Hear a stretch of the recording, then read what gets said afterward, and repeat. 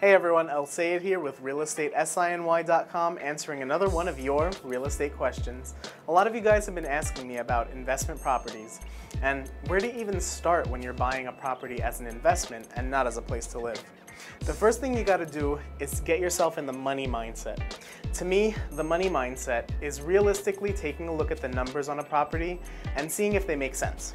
A lot of buyers get flustered and discouraged when they hear all the different terms used in commercial real estate. Between ROI, CAM charges, and gross versus net profit, it's easy to get lost in the world of investments. So let me simplify.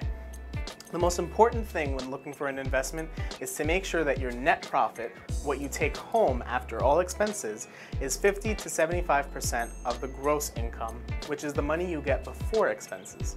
So let's use a real world example. Let's say you buy a home and you rent it for like $1,000 a month. That's 12,000 a year. You need to make sure that you're taking home at least half of that, so $6,000. Number one, so that you can make profit. And number two, so that you can have money put aside for unexpected things that you have to pay out of pocket for as a landlord. That leads to another thing to remember for your first investment property. Don't take your profits and run. Make sure you manage your profits well and save a good portion of it so that you're ready for the expenses that pop up.